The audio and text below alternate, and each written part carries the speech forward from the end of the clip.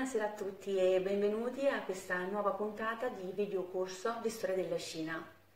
Con oggi andremo a trattare la dinastia Qin, una dinastia che seppur di brevissima durata, si parla di soli 14 anni di regno, ebbe un'influenza così forte sulla Cina dell'epoca, i cui riscontri possiamo anche notarli adesso, che comunque merita un grandissimo riconoscimento. Ad ogni modo le date a noi conosciute vanno dal 221 al 207 a.C. e possiamo dire che ci sono tre grandissimi meriti da riconoscerli. Il primo, quello di aver coniato il termine Zhongguo per indicare la Cina come il regno di centro.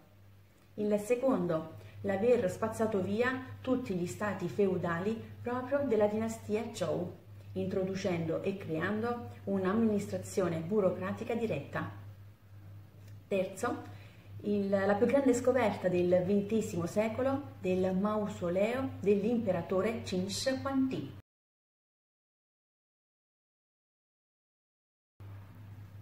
Se andiamo un po' a ritroso, notiamo già una partecipazione attiva dello Stato di Qin nel 770 a.C., momento in cui Li Zhou decisero di spostare la capitale da Hao a Luoyang.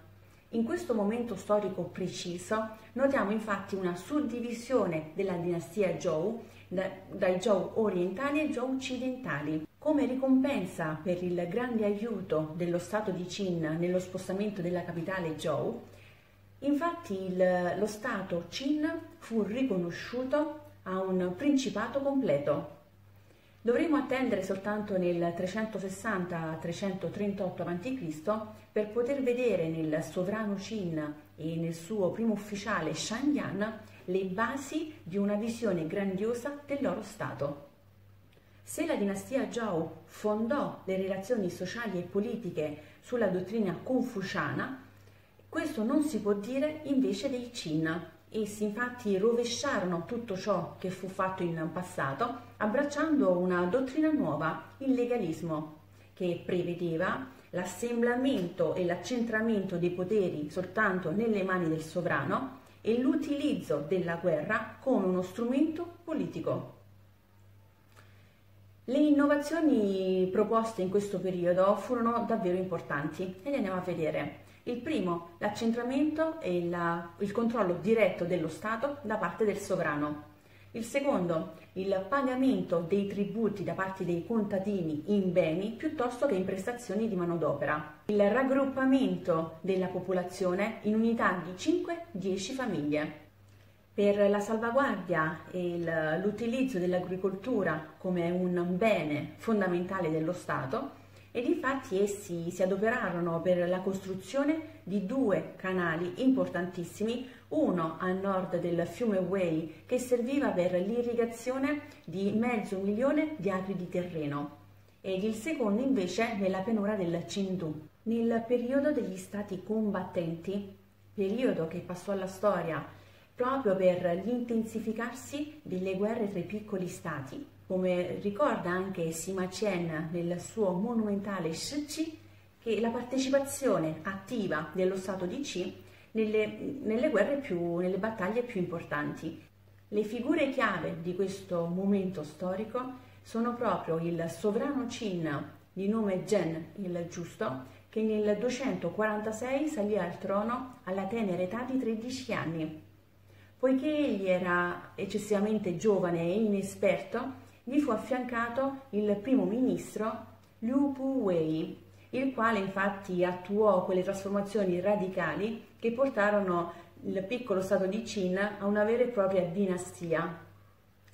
Ma fu obbligato a lasciare il, la sua posizione dopo che la sua relazione clandestina con la madre del sovrano fu scoperta ed il suo posto fu preso da Li Se e passò alla storia come ministro di giustizia e per essere una persona estremamente fredda e calcolatrice, diverso infatti dal sovrano, che fu una persona invece che viveva di superstizione, magia e metafisica. Siamo nel 221 a.C., con il termine delle battaglie tra i piccoli stati feudali Lis coglie il momento più adatto per poter proclamare lo stato di Qin unificato. Pertanto, quindi, assistiamo alla nascita di questa dinastia e il sovrano decise di assumere il titolo di Huan Di.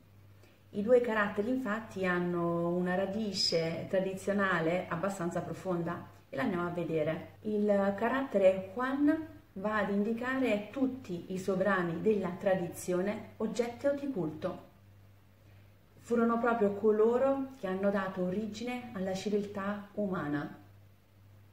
Di invece un carattere utilizzato molto nel periodo dinastico Shan per indicare anche qui gli antenati reali oggetti di culto e soprattutto la suprema divinità.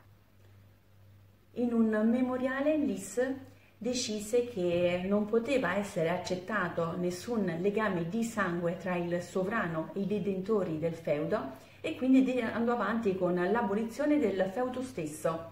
Tanto è che tutte le famiglie ricche e nobili che erano a capo di ciascuno di esso furono costrette a emigrare e a trasferirsi nella capitale di Xiandian e si parla di un esodo di oltre 120.000 famiglie.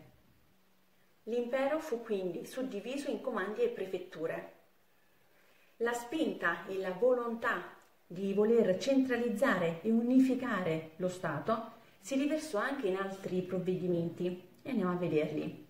Prima di tutto, per quanto riguarda la scrittura, fu coniato, inventato un sistema di scrittura uniforme per tutto lo Stato che passò alla storia con il nome del piccolo sigillo.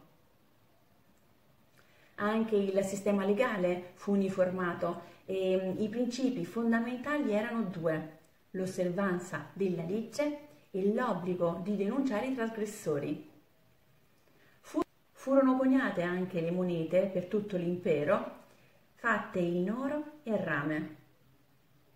Furono applicati dei regolamenti chiari per pesi e misure.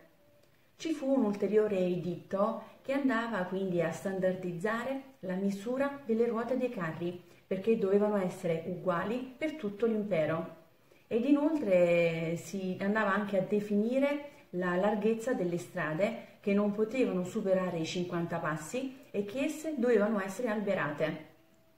Importantissima infatti la costruzione in questo periodo più grande, del più grande muro difensivo della storia, la grande muraglia cinese, che doveva essere di oltre 10.000 li.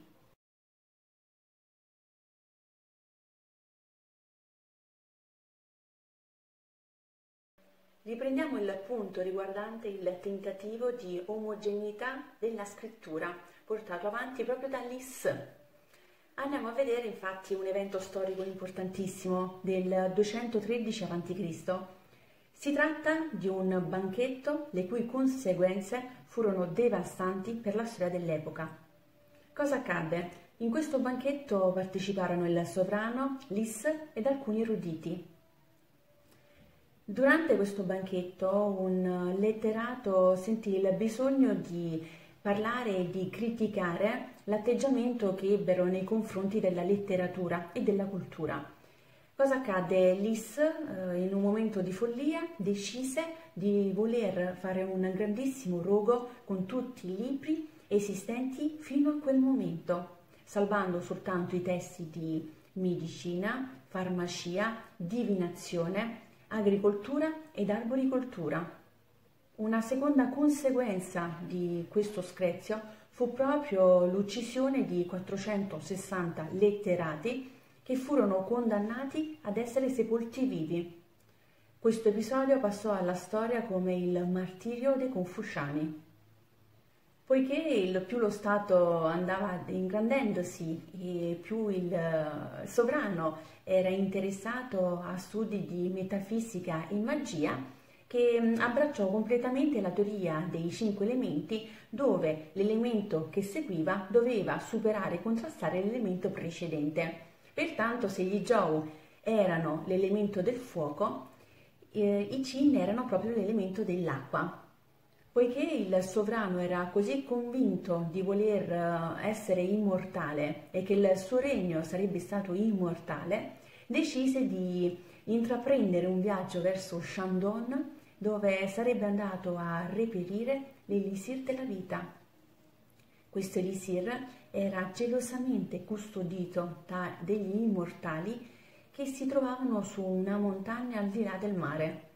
Cosa accadde? Una volta arrivato sulle rive del mare, egli perse la vita.